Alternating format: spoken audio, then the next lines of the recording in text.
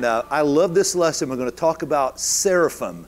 So, this is one of those chances that we get to really look into a particular genre or type of angel, even though a seraphim is never actually called an angel. Um, it's called the burning ones, and you'll see in a moment, but they are a part of the heavenly creatures that are listed in heaven, and so we would classify them as angels for the sake of understanding.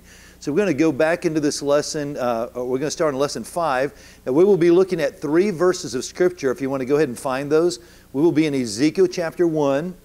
We'll also be in Isaiah chapter six, and then we're going to go to Revelation chapter four. And those are the three passages of Scripture that actually give you physical descriptions of seraphim in all three of those passages. So we'll go there together. All right, now when we go into this lesson on, on seraphim, one of the things that, that I need to explain before we get into that is the difference in seraphim and cherubim. Because a lot of people use these terms interchangeably because you're going to see cherubim in the Bible described looking like seraphim. But there's an inconsistency in all of the descriptions of cherubim, and there's a reason why. The word cherubim actually is a Hebrew word, cherub, and I want you to see this so you can understand the word, the word, the word cherub in, in Hebrew, cherub in Hebrew, is literally uh, means imaginary figure. And that's important to understand because the Bible is not imaginary. Why would we have a fantasy figure, an imaginary figure in the Bible? But that's what that word actually means. And so it's important to understand what they're trying to tell us every time they use the word cherub, which is one, cherubim, more than one. So it's the plural sense of that. So when you look at the word cherubim, you're saying, here is something I've never seen before. Here's something I don't know how to describe. Looks like an angel, but I don't know what type of angel. I don't know whether to call this a seraphim. I don't know whether to call this an archangel. I don't know what kind of angel this is because I've never seen a being like this before. Now, interestingly, seraphim is only used a few times, and we're going to look at all the passages where they are described, and they're called seraphim by name which means, and you'll see this in a moment, it means burning ones. Seraph means to burn. So these are beings who are actually on fire. Their, their skin is burning. They actually have lightning in their skin. And you will see this in a moment as we go through the passage. So their skin looks like boiling bronze, and it's got sparks of fire in the skin. Now that's a, that's a seraph, that's a seraphim that we would call them. One seraph, more than one seraphim. So you usually see them in groups together. So we would call them seraphim. So when you see uh, cherub, one, cherubim, more than one, it's an angel that you don't have a description or a name for. You have a description, but you don't have a name. Now, interestingly, the word cherub or cherubim is used over a hundred times in the Bible. So it's a very common name. So what happens is you end up um, many times uh, acquainting cherubim with seraphim because of the description that was given to that cherubim. So let me give you a few examples of that. Um, before we go there, um, you, you, know, I don't know how many of you have ever read the Chronicles of Narnia. Have anyone familiar with C.S. Lewis's writings? The Screwtape Letters and the Chronicles of Narnia and the Lion, the Witch, of the Wardrobe, many other writings. Well, C.S. Lewis was really before his time. C.S. Lewis was an incredible uh, Christian writer, but he wrote to persuade unsaved people about the gospel. So he wasn't your typical theologian, even though he was a deep theologian, he didn't write the same way that we see people writing today. He wrote about characters like Screwtape he wrote about the Chronicles of Narnia, where the Chronicles of Narnia has a lion named Aslan who represents Jesus Christ.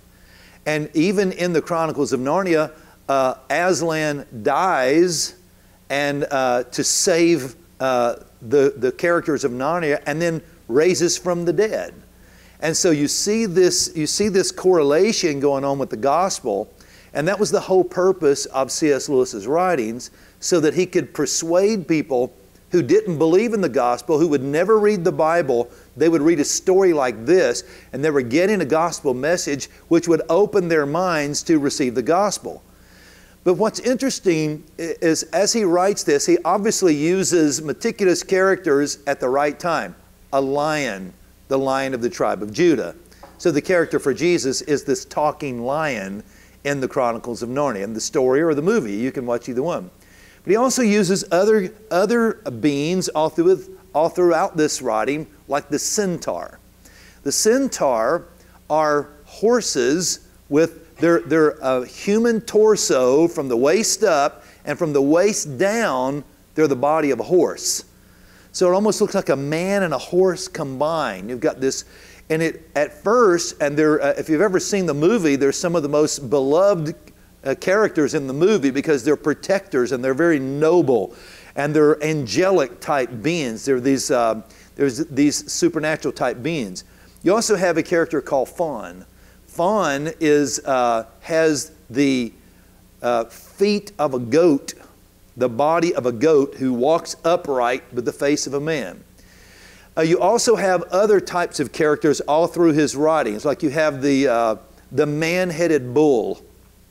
Uh, it's a bull that walks uprighted, but he's got the face of a man.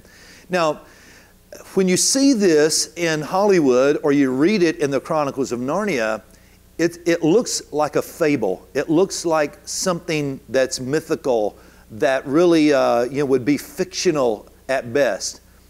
But in reality, he gets his ideas from Scripture because you're going to see a combination in heaven of human and beasts in the same person. When we begin to describe seraphim, you're going to see an ox, you're going to see a, a lion, you're going to see a face of an eagle. These are faces. You're going to see characters in like seraphim who have the feet of a calf, but the arms of a man. So you see this combination of man and beast in these heavenly creatures which are the biblical description of these heavenly creatures. So keep in mind that what seems to be like what seems to be uh, mythological or even uh, fiction uh, in in one story is actually a reality, but he's kind of played off of that idea. So a lot of times when we relate to God, we relate to God the way we relate to each other. He's my Father. So we picture him as this long white beard, the Ancient of Days, with long white hair, and you know this, and some even put a, a walking cane out beside of him, and so that we can create some type of image that we can relate to, and that's how we see God many times. Uh, even the Bible characters of Noah, you know, they're always these old men that are, and they were old, but you know, sometimes we put them in, in the sense that it, so we can relate to them. And they look grand, so we, we make God grandfatherish. And God's this loving grandfather figure, father time figure that we create in our mind so that we can see God. We do the same thing with angels. We make angels these uh, beautiful creatures because we all want to be beautiful when we get to heaven, right? So we make angels these flawless, beautiful Barbie type creatures with wings and halos. But the Bible never mentions a halo on an angel once. We put those there.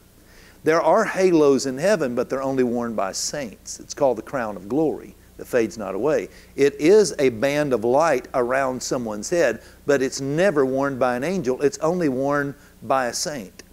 So we put halos on their heads and we put wings on their back, and we dress them in white and gold, and we make them these illuminating, gorgeous, beautiful creatures, perfect in all their ways.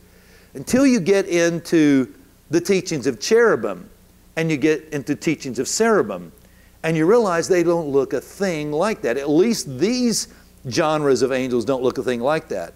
One of the problems that, that we run into, even when we start looking at cherubim, is you will see teachings like Ezekiel 10, where the cherubim have four faces, but then the cherubim in Ezekiel 41 only have two faces. So, does the cherubim have two faces, or does the cherubim have one face? One of them you will see that his feet look like burning fire. The other one, his feet looks like a calf's feet, the feet of a cow. So, does a cherubim have the feet of a cow, or does a cherubim have feet of fire? Thank you so much for supporting our ministry. If this has blessed you, please say a prayer for us. And if you would like to give, we have four ways that you can do that. You can give online at bryancutshall.com, or if you're a PayPal user, just PayPal us at Church Trainer. Or you can also give through the mail at P.O. Box 267, Georgetown, Tennessee 37336. Or if you're a Venmo user, you can Venmo us also at Church Trainer. Thank you, and God bless you, and may the Lord multiply your seed. Now back to Hope in the Word. So, cherubim basically is describing an angel that we don't have a classification for. We don't have a genre. We don't have a definition, a description. It's a new classification of something that we've never seen before, which obviously, when you're writing in the Old Testament, almost every single angel would fall in that category of something that you've never seen before. But there is a particular type of angel called a seraphim that is explicit in scriptures and, is, uh, and we're given a lot of information about them. So we're going to start with Ezekiel chapter 1. Ezekiel 1, it says, Then I looked and behold, a whirlwind was coming out of the north. So we know that's where God's throne is, right? In the sides of the north. So a whirlwind coming out of the north, a great cloud with a raging fire engulfing itself. So get this in your head. This fire is engulfing itself. So can you see that? It's billowing. So it's not just a cloud of fire and it's not just a bright glow. This is something that would, you would see in a, in a raging house fire, a raging uh, commercial building on fire, something that is a boiling like a uh, volcano. This is a raging fire that engulfs itself. And brightness was all around it and radiating out of the midst of the color of amber, out of the midst of the fire. Also from within, okay, so from within, so you see this billowing, engulfing, raging fire engulfing itself, and walking out of it are these four living creatures. Wow. And they're not burned because you'll find out in a moment why. So from within it came the likeness of four living creatures, and this was their appearance. They had the likeness of a man. There we go again. There's our, there's our previous teaching. They have the likeness of a man. So even though they're burning and they're walking out of fire, they kind of look like a man. All right? The likeness of a man. Each one had four faces. Now there's an angel you probably don't see on a postcard, right? Each of them have four faces. Okay, so, um, uh, and they have four wings. Their legs were straight, and the soles of their feet were like the soles of calves' feet. So they're described as having like a cow's foot uh, with a hoof and everything. They sparkled like the color of burnished bronze. Now you have to understand what that looks like. If you've ever melted metal or been to a place where metal is being melted, then you can see what burning bronze would look like. It, it looks like it's moving. So the skin of these seraph, the skin of these seraphim, are, is moving. Now we would have uh, smooth skin, well, kind of, but we would have kind of smooth skin where their skin would be moving.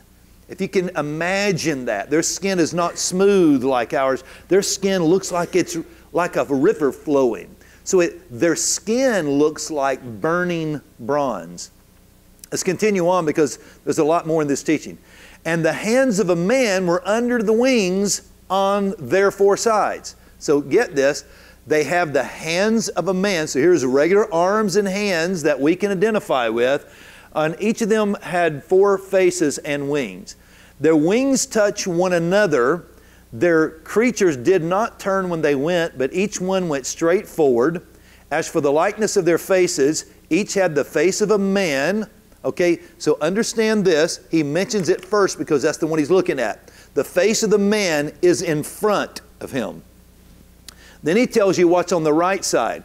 And the face of an ox is on the left side. All this is very important. And then the face on the right side is the, is the face of a, of a lion. I see the face of a lion on the right side. Each of the four had the face of an ox on the left side, and each of the four had the face of an eagle. So the only place he has it mentioned is in the back, so that's where the eagle is. So you have the man's face in the front, the eagle's face in the back, the lion's face on the right, and the, the ox face on the, on the left. Uh, thus were their faces. Their wings stretched upward, two wings of each touched one another, and two covered their bodies. And so it's interesting that he's not showing them flying here because they're on the earth. Um, when you see them later, you will see them in heaven, and there's another pair of wings that we see. So, evidently, either these wings are all folded together to look like only four sets of wings or four wings, or on the earth they appear as having four wings, and in heaven they appear as having six wings. Now, why would that be important?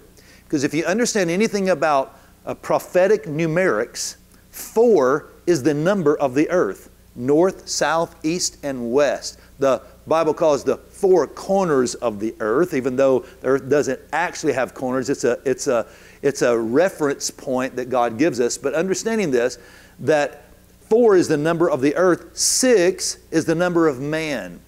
So when you see these beings on the earth, they're with man and they're on the earth, so it's only showing four faces and four wings. When you see the same creatures in heaven, not on earth, they have six wings and four faces, representing mankind on the earth, the number of man and the number of the earth. Okay, so each of them went straight forward, and they went wherever the Spirit wanted them to go, and they did not turn when they went. As for the likeness of the living creatures, their appearance was like burning coals of fire. Okay? So remember, I told you that their skin is burning? Their skin looks like burning bronze.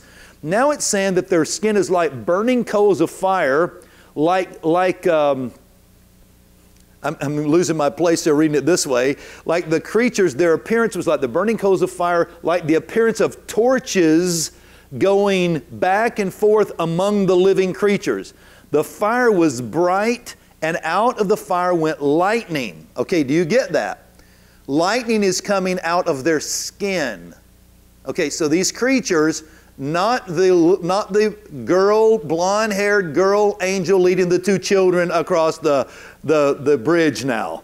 Okay, these creatures have burning skin, boiling bronzy skin, four faces, and they have, uh, and they have lightning and fire, fire shooting out of their skin, and lightning going back and forth in their skin. And the living creatures ran back and forth in appearance like flashes of lightning. They ran back and forth. So they weren't taking steps. It says that they did not, they just go, went wherever the Spirit wanted them to go. They would just move. It was like they were gliding forward, backwards. Wherever the Spirit wanted them to go, these four creatures were just moving like that. Now, want to make some observations about this before we go on to the next description because you're going to see three different descriptions of this same beam, and each of those descriptions tells us a little bit more about them. Okay? So, in this first one, I want you to notice that they are ascending from a, a raging fire. They are ascending from one. They are walking out of the fire completely unharmed and unburned. I think that if I was going to send the fourth man in the fire, I would send a seraph. That's who I would send, a seraphim, as the fourth man in the fire. So um, they are, their name, seraph, means burning ones. Okay, so seraphim literally means that they are on fire or they are burning. Uh, some things I've already mentioned, like they're coming out of the north where God's throne is. Notice this that these seraphim are not guardians of God, they're entourage. Big difference. God does not need a guard, He's omnipotent. God does not need a guard. This is throne room protocol. This is respect. So this is the this is they're announcing because we don't have time to get into this whole passage. This is by the way a great sermon if you could just do the whole the whole chapter. But coming behind them is the one who sits on the throne. So all they're doing is announcing the one coming behind them. They don't say a word here. Now you see them later on saying, Holy, holy, holy. But they don't say a word in this. They're just coming before the one who sits on the throne to announce that he's arrived. It's entourage. He's coming, and we're here to announce it. Now, why would these particular types of angels announce his coming? You'll see this in a moment when we see their function in heaven. So, I want you to notice several things about them. I don't have time to teach on worship, but if you've ever heard me teach uh, about the seraphim in worship, then this is very symbolic the position of their faces. The man is you worshiping by living your life forward. That's faith. We walk by faith. The just live by faith. In other words, we just keep going. Knock down, get up again, and keep going. I could preach right there, but I don't have time. But you just get up and keep going. So that's how we worship. We worship as a man forward. We live our life forward. So the first face you see is the face of a man, and worship is forward living, forward faith, forward march. Don't give up. Don't stop. Just keep going. Walk out of the valley, walk out of the battle, walk out of the storm. Just keep going. That's worship. Um, to the left is the ox. Now, when you see it later, it says a calf. So we know it's a baby ox. It's the same thing. It's just one describes it as a baby ox, the other just says an ox. So we see the calf. Why a calf? The sacrificial animal. So on the left, where God is working and you can't see what He's doing, that's what Job said. When God works on the left, I can't see what He's doing. On the right, that's the right hand of power. That's when I know what God's doing. Boy, I've got faith for that because I know what God's doing. But over here, I don't always know what God's doing, but He's doing something. So the calf is you worshiping in sacrifice. That's the sacrificial animal. The lion on the right, that's you worshiping in battle. That's when you've got your bootstraps on, your sword drawn, you've got word of God in your mouth, and you've got on the shield of faith, and you've got your feet shod with the preparation of the gospel of peace, the helmet of salvation, breastplate of righteousness. You're ready to go. That's me in my battle. I've got fortitude. I've got girt. I've got. I'm ready to go. That's me. I'm the lion. I'm fighting in battle. I'm aggressive. Over here, I can barely fight, but I'm worshiping in my sacrifice. I'm lifting up weary hands, but I'm worshiping anyway. Over here, I'm lifting up faithful hands because I'm feeling strong and in the Lord and in the power of His might. And then there's the eagle. The eagle's behind me. That's me not allowing myself to worship my successes. The flying eagle is the success of mankind. It's not just an eagle, it's a flying eagle. He's soaring above everything else. He is looking for his next prey, and he's bigger than life. So you have to worship. You thank God for your successes, but you cannot worship your successes or you will cease to worship God. So it's there, but it's behind you. Thank God for what He's done through me, but I'm getting ready for what He's getting ready to do through me. So don't get stuck in your successes or you'll be turned around backwards. All right? So, so this, this angel tells us a lot about that. Now, I want to mention one more thing, then let's go to the next description. This angel also is described as moving at the speed of lightning. Now, in just a moment, you'll see Isaiah. In the next passage you read, Isaiah says, He flew to me. And it was just that fast. When God sends a seraphim to you, it's at the speed of lightning. I call that the speed of favor. When God blesses you, He doesn't have to wait on it. You don't have to wait on it. A commanded blessing can arrive immediately. Anyone besides me ever been a recipient of the suddenlies of God? Where God just turns something around so fast and you didn't think it would ever get turned around, and then, like overnight, it happened. And that's what these angels represent. When they move, when the Spirit tells them to move, they move at lightning speed. Wow. This program is brought to you by the partners of Bryan Cutshall and Church Trainer Ministries. Please help us pray that the Lord will continue to send us more partners so we can expand His kingdom around the world.